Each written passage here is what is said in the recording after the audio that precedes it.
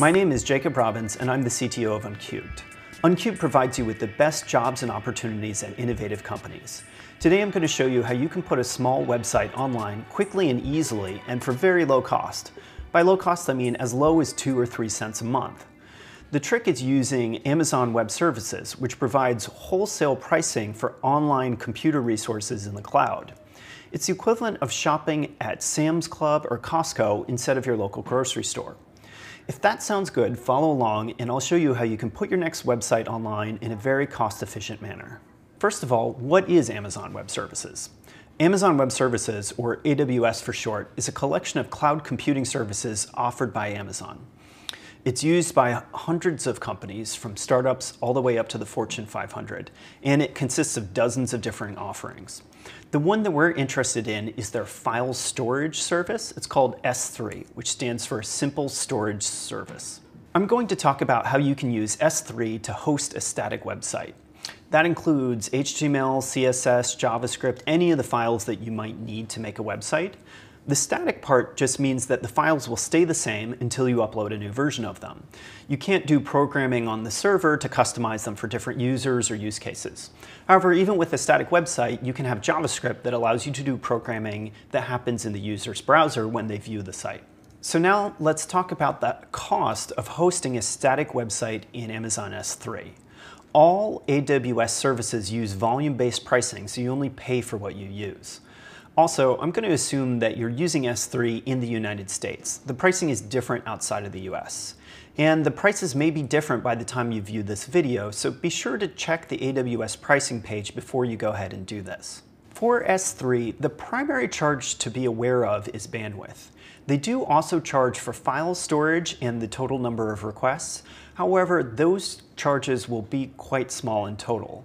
For example, file storage in S3 costs 2.3 cents per gigabyte. So for example, if you have a website that consists of 10 megabytes of files, that's 1% of a gigabyte. So at 2.3 cents, uh, that's going to cost you 2 one hundredths of a cent per month, which they will round up to 1 cent per month. Same with the per transaction costs. So you're looking at a baseline of 2 cents a month, and then the uh, bandwidth is going to come on top of that. Let's move on to bandwidth. Bandwidth is the cost of transferring files from S3 out to the internet. And that's incurred every time somebody views one of the pages on your website. All the files that make up that page, you have to pay bandwidth on them going out to the internet. So for example, uh, if you have a website where a page is five megabytes of files, you know, the HTML, the CSS, the images, then every time there's a page view for that page, you're going to pay the bandwidth cost for five megabytes. Currently, the bandwidth costs for S3 are free for the first gigabyte, then 9 cents for every gigabyte thereafter. At that rate, I've done the calculation, and it looks like you can have up to 230 page views each month for just one cent in bandwidth. So you're really looking at a starting point of 230 page views and 3 cents a month. But what happens if it goes a little higher than that? Let's say you get up to 500 page views. Then you're looking at 14 cents a month in bandwidth costs and the 2 cents on top of that. So 500 page views is going to be 16 cents. If we get up to 5,000 page views, you're looking at an all-in cost of $2.18 a month. Here's where you need to pay attention to AWS's volume-based pricing, because if your site suddenly got extremely popular, it could end up costing you a lot of money in bandwidth. To get back to our hypothetical 5 megabyte web page example, if it was viewed 100,000 times, that would cost you about $45 in bandwidth costs. If you happen to have your site be viewed a million times, you're getting up to $450 in bandwidth, which is kind of a lot. So if you think your site is going to hit millions of views, and you don't want to pay for the bandwidth that that will incur, you're better off using an ad-supported social media site like Facebook or YouTube or Instagram. But generally, if you're making a small website for a portfolio or just to try out a business idea, you're going to be getting hundreds or thousands of views, maybe cracking 10,000, but that's probably about it. In that case, Amazon's volume-based pricing is really the key to saving a lot of money in web hosting. So to get back to our 5 megabyte web page example, if that page is viewed 2,500 times a month, you're paying $1.02 all in and hosting it on S3, which is a great deal. I created a spreadsheet in Google Docs to come up with these bandwidth cost estimates. It's listed next to this video on the Uncubed website at uncubed.com. You can go there, look up this video, and then you can see the calculations for yourself and figure out how it applies to you. So now we are going to set up a static website in Amazon S3. Step one is to get an Amazon Web Services account. You go to aws.amazon.com and you click the Create an AWS Account button and sign up here. If you already have a regular Amazon account for shopping online, you can use that login right here and you're already set. Once you log into the AWS console, find S3 in the list of available services. Here it is under Storage. Next, we need to create a bucket to store files for our website. In S3, files are called objects, and all S3 objects must be inside a bucket. You can have multiple buckets in your account. You can see here I have some for a website I've already made. Uh, and each bucket could be its own website, or you could just use it to store some files. So we'll click Create Bucket here. Now, the name of your bucket has to be a name that no one else on AWS has used yet.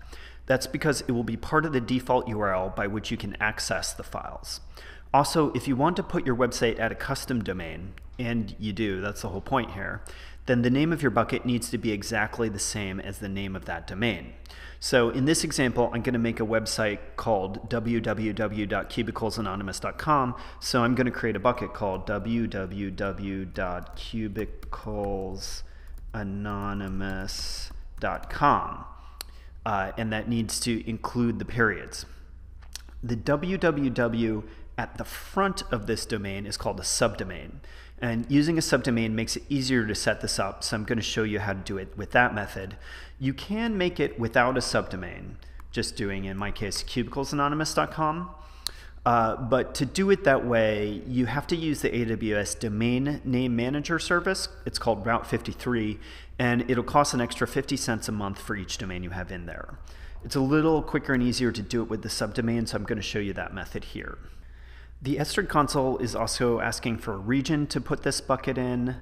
The standard to go with here is US East, North Virginia, um, note that a few of the regions have higher prices, so check the S3 pr pricing page when you do this. Now we need to go to the next page. Uh, this UI is actually not showing me the next button, so I'm going to zoom out here a little bit so I can see that. When I hit next, it shows me this set properties page. You don't actually need any of these properties to set up a static website, so I'm just going to continue along here. However, this permissions page is a gotcha. If you don't set the public permissions to allow read access for everyone, then people won't be able to view the contents of your website. Note that the screen doesn't appear on older versions of the AWS console website. For those, you just need to set read permissions when you upload the files, which I'll be showing you shortly. Either way, just note that you're looking for permissions and you want to make sure that everyone has read permissions for the objects. That's also sometimes called view permissions. This other column, object permissions, is about the permissions to view the permissions themselves. You can really ignore that. So that's all we have to do with the permissions. Let's go on to the next page here. It's giving me a review, and now I'm ready to go ahead and create my bucket.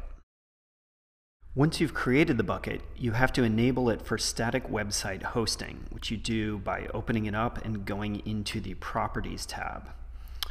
Uh, this might look a little different once again if your version of the AWS console website is different, but you're looking for static website hosting and you want to turn that on. Uh, the one thing you have to set here is the index, the name of the index document. That's the file that will be the website homepage. You can use any file you want, but it's a convention to call it index.html as they were suggesting here, so I like to just do it that way. and we hit save and it's all enabled as it shows here. Now that our web our bucket is set up for static website hosting, we want to upload the files, aka objects for our website into it. I put together a simple website locally with an HTML file, some images, and CSS. If you're familiar with an FTP client, some of them support uploading files to S3. For example, Qt and CyberDuck both support this. But for this simple file, I've just put the website files into a directory on my desktop, and I'm going to upload them using the upload button right here. So I click upload, I'm going to click add files. I'm going to, here's the website files directory. I'm just going to select all of these files and go ahead and add them here. Uh, click the next button. Once again, this is the permissions gotcha. So you want to click public permissions. We have to do this again. And for everyone on the objects, we want to allow them to read. This is going to be the same even if you're using the previous version of the AWS console web page. We hit next and all this stuff is fine. So I'm just going to go ahead and upload those. And I should see them start to percolate into here as my upload goes. Great. So now everything is uploaded. Now that our files are uploaded, we can test that the website is working on the default URL that Amazon S3 provides.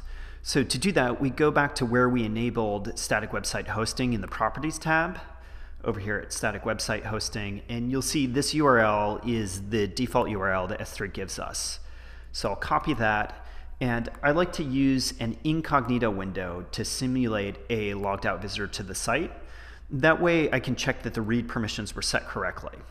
So I go ahead and I paste that URL in there, and we can see that the site loads up fine at the default URL. Note that if the images didn't load here, you probably didn't use relative paths for your image files in your HTML. Okay, now that the site is functioning on the Amazon side, I want to point my domain name at it. To do that, you need to have purchased a domain name using a domain name registration service like Namecheap or GoDaddy. I'm here in GoDaddy's DNS management panel where I've bought the domain name cubiclesanonymous.com. And what I want to do is make the subdomain www an alias for the S3 domain of my bucket. In DNS terminology, an alias is a CNAME, so I want to add one of those records here. I'm going to click the Add button, and I'm going to select the type CNAME. The host is actually the subdomain itself, which in this case is just www. The value that I want it to point to is that name that I got from Amazon over here. So actually, I just want to make sure I just get the domain part, not the HTTP. I'll paste that in here. Let me just make sure it didn't get the HTTP at the front. Yep, looks great. Uh, this TTL stands for time to live. I'm going to set that as short as possible just in case I change my mind and want to change this later. So I hit save, and it's going to go ahead and add that record. Note that it can take a little while for these changes to percolate, so I'm just going to wait for a bit here. And say maybe 20, 30 minutes later, I should be able to go to www.cubiclesanonymous.com and voila, it pulls up my static website hosted on Amazon S3. My name is Jacob Robbins, and I just showed you how to set up a small website quickly, easily, and most importantly, for a very low cost using Amazon S3. To get more digital tips, go to uncubed.com and sign up for our newsletter, Uncubed Daily.